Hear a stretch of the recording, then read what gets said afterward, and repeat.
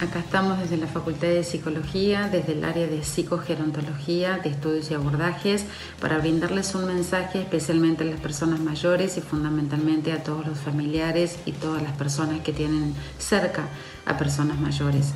Sabemos que este momento de aislamiento es un momento que genera y tiene efectos psicológicos importantes que tienen que ver con ciertas sensaciones eh, vinculadas a la bulia, a la desazón, a la sensación de mucha soledad, de nostalgia, de un tiempo sin fin.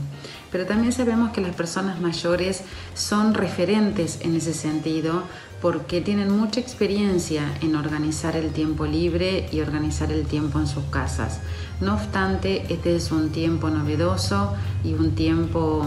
que exige de muchísima paciencia, de muchísima tolerancia, eh, de muchísima eh, destinar, de destinar cierta organización para eh, poder acompañar esas sensaciones que les mencionábamos.